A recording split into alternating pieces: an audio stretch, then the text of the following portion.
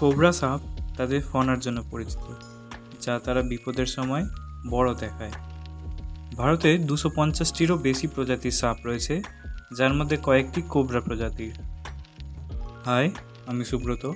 আজকের এই ভিডিওতে আমরা জানব ভারতে চার ধরনের কোবরা প্রজাতির ব্যাপারে। Number one, spectacled cobra. Spectacled cobra বা ইন্ডিয়ান কোবরা সম্ভবত ভারতের সবচেয়ে ব্যাপকভাবে পাওয়া বিষাক্ত সাপ। সাপটি তার ফনার পিছনের একটি চশমা আকৃতির নকশা থেকে নাম পেয়েছে, যদিও সমস্ত স্প্লেকটেকাল কোবরার সেই নকশা নেই। এরা সাধারণত চার থেকে পাঁচ ফুটের হয় এবং এদের রং ব্যাপকভাবে পরিবর্তিত হয়। Number two, monocled cobra. Monocled cobra প্রায় স্প্লেকটেকাল কোবরার আকারের সমান হয় এই কোবরার ফনার পিছনে ও আকৃতির প্যাটার্ন রয়েছে। এটি বেশিরভাগই ভারতের পূর্ব ও উত্তর পূর্ব অঞ্চলে পাওয়া যায়। এদের ইন্ডিয়ান স্পিটিং কোবরাও বলা হয়।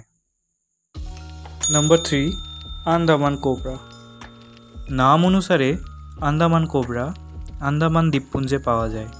এই কোবরা বাকি দুই কোবরার মতো লম্বা হয় না। এই কোবরা সাধারণত এক মিটার লম্বা হয়।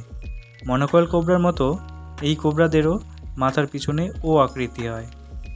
এরা রঙে ধূসর থেকে গাঢ় বাদামি হয় এবং এদের ডোরা কাটা দাগ থাকে। Number four Caspian cobra Caspian cobra বা মধ্য এশিয়ান কোবরা বিশ্বের সবচেয়ে বিপজ্জনক কোবরা প্রজাতি হিসাবে বিবেচিত হয়। ভারতের চরম উত্তরাঞ্চলে পাওয়া যায় এই কোবরা এদের গড় দৈর্ঘ্য এক মিটার হয়। এই কোবরার বডির নিচের অংশ হালকা হলুদ রঙের হয়।